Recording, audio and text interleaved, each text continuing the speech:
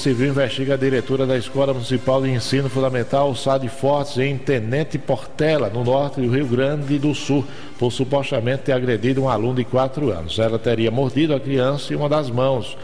É, é, e teria admitido isso em gravações de áudio encaminhadas à família. O caso aconteceu na terça-feira.